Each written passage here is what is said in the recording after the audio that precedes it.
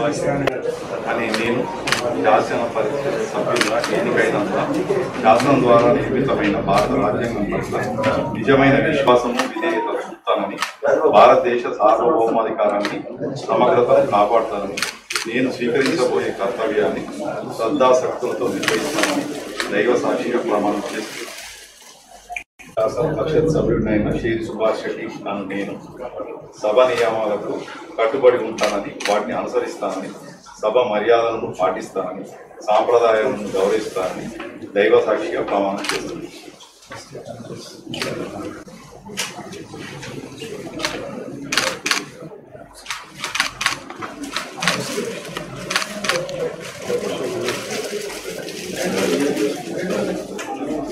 Sir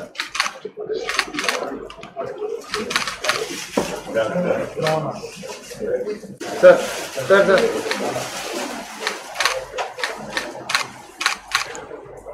నిరంతర news update కోసం ఛానల్ను సబ్స్క్రైబ్ చేయండి. పక్కనే ఉండే బెల్ సింబల్ను క్లిక్ చేయడం మర్చిపోకండి. అప్డేట్స్ని మిస్ అవ్వకండి. Thanks for watching please like comment share follow on Facebook Google plus Twitter Instagram